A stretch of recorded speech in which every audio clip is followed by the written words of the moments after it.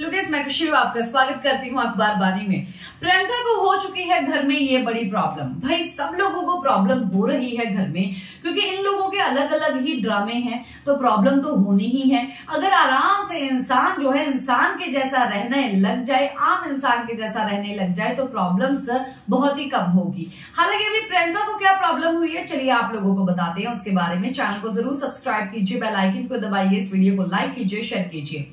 हालाँकि सेलिब्रिटीज की डाइट जो है काफ़ी ज़्यादा चेंज हो चुकी है और जो डाइट प्लानर्स रहते हैं, वो काफ़ी ज़्यादा अलग अलग चीज़ें करते हैं कि भाई पैसा कमाने के लिए ये नहीं खाना, वो खाना है, ये नहीं खाना, वो खाना है, इतनी मात्रा में खाना, उतनी मात्रा में खाना। भाई हमसे तो नहीं होता, हम तो अच्छे से पराठे खाते हैं, तभी जाके पेट को सुकून मिलता है। पर यहाँ पर घर के अंदर जो सेलिब्रिटी आई है, ये अपने डाइट प्लानर का बहुत ही अच्छे से ध्यान रखते हैं प्लान का बहुत ही अच्छे से ध्यान रखते हैं। अभी रही बात प्रियंका की। प्रियंका खड़े मसालों से जो है बहुत ही ज़्यादा तंगी है। श्रीजीता जो है चिकन और बना रही है पनीर घर में। और उसमें जो है, चिकन में उनको जिंजर गार्लिक पेस्ट डालना है।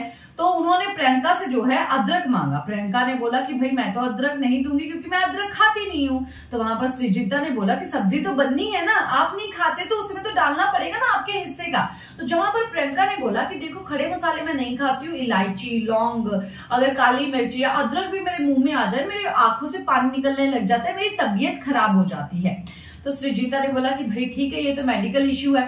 तो अभी प्रियंका के लिए अलग खाना बनेगा और वो भी खड़े मसालों का नहीं नॉर्मल मसालों का।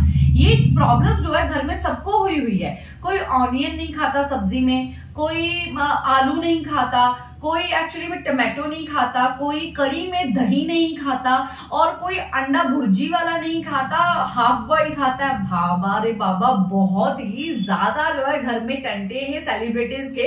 आम इंसान है, काफ़ी ज़्यादा आराम से। आम इंसान सोचता है कि भाई मुझे सेलिब्रिटी बनना है। भाई सेलिब्रिटी बन गए तो खा नहीं पाओगे कुछ अच्छे से। इसी के साथ मैं लेती हूँ इजाज़त, नमस्कार।